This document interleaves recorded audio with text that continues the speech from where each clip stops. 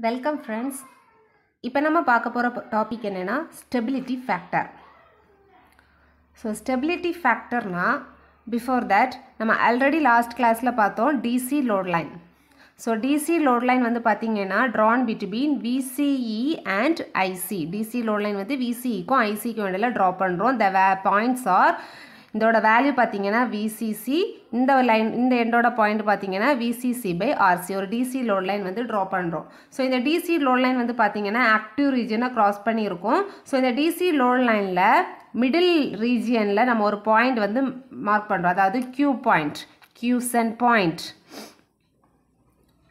or operating point so இந்த operating point வந்து பார்த்தீங்கன்னா நார்மலாக இந்த டிசி லோட் லைனில் மிடில் நமக்கு நார்மலாக கிடைக்கணும். ஓகேயா ஸோ இந்த டிசி லோட் லைனோட மிடில் வந்து பார்த்தீங்கன்னா கியூ பாயிண்ட்டாக இருந்துச்சுன்னா நமக்கு டிரான்சிஸ்டரில் வந்து பார்த்தீங்கன்னா எந்த டிஸ்ட்ராக்ஷனும் இல்லாமல் அவுட்புட் வந்து கிடைக்கும். சப்போஸ் இந்த கியூ பாயிண்ட் வந்து மேலேயோ இல்லை கீழேயோ இந்த டிசி லைனோட மேலே இல்லைனா கீழே இருந்துச்சுன்னா நமக்கு இங்கே வந்து பார்த்தீங்கன்னா ஒன்றில் பாசிட்டிவ் ஹாஃப் சைக்கிள் கிளிப் ஆகும் இல்லைனா நெகட்டிவ் ஹாஃப் சைக்கிள் கிளிப் ஆகும். ஸோ நமக்கு ஒரு ப்ராப்பரான அவுட்புட் வந்து கிடைக்காது.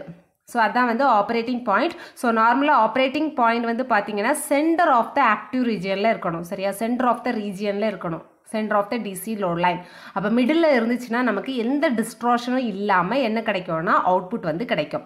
ஸோ இந்த கியூ பாயிண்ட் வந்து வெரி இம்பார்ட்டன்ட் ஸோ இந்த கியூ பாயிண்ட் வந்து மிடில் இல்லாமல் கொஞ்சம் வேரி ஆனாலும் நமக்கு என்ன ஆகிடும்னா டிஸ்ட்ராஷன் ஆகிடும் ஸோ அப்போ இந்த கியூ பாயிண்ட்டை வந்து ப்ராப்பராக வைக்கணும்னாலும் இந்த கியூ பாயிண்ட் வந்து டிபெண்ட் அப்பான் த டெம்பரேச்சர் நம்ம சர்க்கியூட்டுக்கு வந்து நம்ம எக்ஸ்டர்னலாக பயாசிங் கொடுக்குறோம்.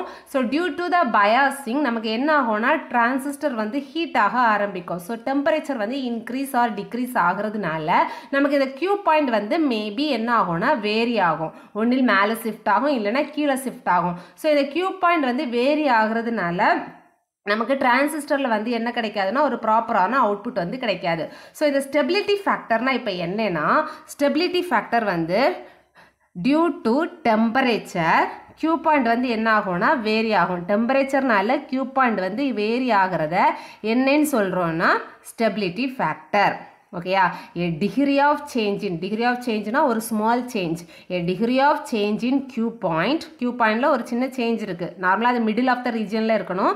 But a degree of change in Q point due to temperature டெம்பரேச்சர்னால நமக்கு வேரி ஆகுறதுனால இதை என்னன்னு சொல்கிறோன்னா ஸ்டெபிலிட்டி ஃபேக்டர் இந்த டெம்பரேச்சர் வேரியபிள்ஸ் பார்த்தீங்கன்னா டெம்பரே அதாவது த்ரீ வேரியபிள்ஸ் இருக்குது ஸோ டெம் டெம்பரேச்சர் வேரியபிள்ஸ் வந்து பார்த்தீங்கன்னா ஒன்று வந்து ஐசிஓ ஐசிஓனா டிரான்சிஸ்டரோட leakage current then VBE VBE பார்த்தீங்கன்னா base difference of base emitter voltage and beta beta பார்த்தீங்கன்னா amplification factor due to this three variables temperature வேரியபிள்ஸ்னால நமக்கு என்ன ஆகுதுன்னா கியூ பாயிண்ட் வந்து வேரி ஆகுது.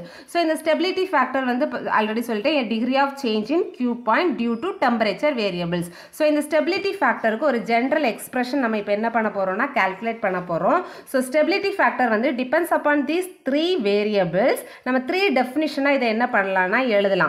ஸோ நமக்கு நார்மலாக வந்து கலெக்டர் கரண்ட் இந்த கியூ பாயிண்டோட வேல்யூ பார்த்தீங்கன்னா விசிஇ கமா ஐசி இந்த கியூ பாயிண்டோட வேல்யூ வந்து பார்த்தீங்கன்னா VCE and IC so degree of change வந்து எதில் நார்மலாக இந்த சேஞ்சஸ் நடக்கும்னா இந்த ஐசி தான் நார்மலாக வந்து என்ன ஆகும்னா இன்க்ரீஸ் ஆகும்.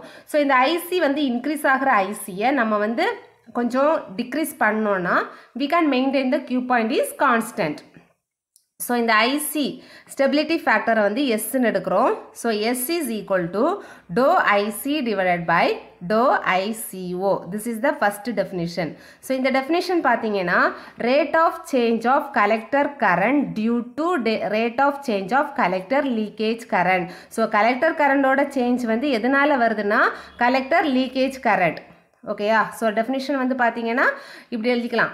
Rate of change of collector current due to rate of change of collector leakage current is stability factor then another stability ஃபேக்டரை என்ன எடுக்கிறேன்னா S dash so S dash is equal to doe IC divided by doe VBE doe IC divided by doe VBE so இங்கே பார்த்தீங்கன்னா VBE அதாவது rate of change of the ratio of rate of change of collector current due to collect old base emitter voltage the next definition பார்த்தீங்கன்னா S double டேஷ்னு எடுக்கிறேன்.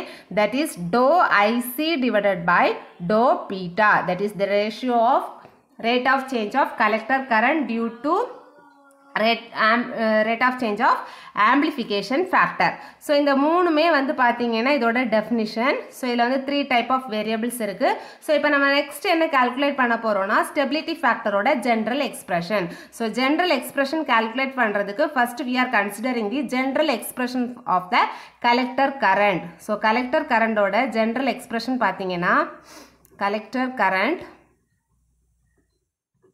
so collector current பார்த்தீங்கன்னா ஐசின்னு represent பண்ணுவோம். IC equal to beta into IB plus one plus beta into I leakage current so this is the general expression of for the collector current so இதை வந்து நம்ம இப்போ என்ன பண்ண போகிறோம்னா we are going to differentiate with respect to IC அந்த both side both சைடில் நம்ம ஐசியால் டிஃப்ரென்ஷியேட் பண்ண போகிறோம் சாரி மேலே கீழே நம்ம டிவைடட் பண்ண போகிறோம் ஃபஸ்ட்டு நம்ம என்ன பண்ண போகிறோம்னா டோவால் எல்லா பக்கமும் மல்டிப்ளை பண்ண போகிறோம் multiply by doe on both side dou on both sides. So dou IC is equal to beta into dou IB plus 1 plus beta into dou ICBO. இது நம்ம என்ன பண்ண போகிறோம்னா we are going to divided by dou IC on both side. So என்ன வரும்னா dou IC divided by dou IC is equal to beta into dou IB divided by dou IC plus 1 plus beta into dou ICBO. So இப்போ என்னென்னா இதுவும் இதுவும் cancel ஆகி நமக்கு அதாவது டிஃப்ரென்ஷியேட்டாக ஐசியால் பண்ணும்போது ஒன் கிடைக்கும். So one is equal to beta doe IB divided by doe IC plus one plus beta into doe ICBO so இந்த இந்த டேமை நான் இப்போ என்ன பண்ணுறேன்னா ஈக்குவல் இந்த பக்கம் எடுத்துகிட்டு வரேன்.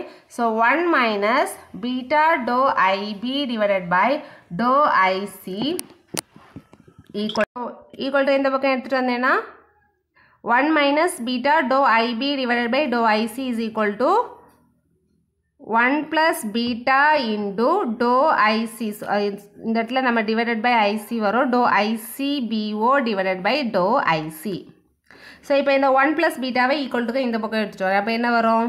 One minus beta doe IB divided by dou IC the whole term divided by 1 plus beta that is equal to dou ICBO divided by dou IC இப்போ நான் இதை என்ன பண்ணுறேன்னா இன்டர்சேஞ்ச் பண்ணி எழுதுறேன் அதாவது நியூமரேட்டர் டேம் டினாமினேட்டர் டேம் மாற்றி எழுதும்போது நமக்கு என்ன கிடைக்கும்னா one plus beta divided by one minus beta into doe IB divided by doe IC equal to dou IC divided by dou ICB over we can write ICO both are leakage current.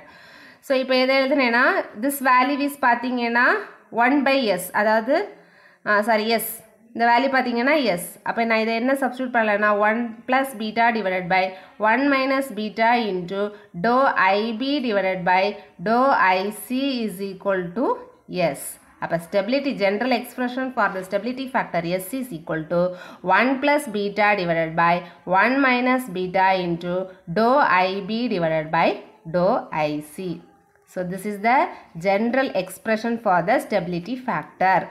So general expression calculate பண்ணியாச்சு. So first stability factor na a degree of change in Q point due to temperature. The temperature variables are ICO, VBE, beta. Thank you friends.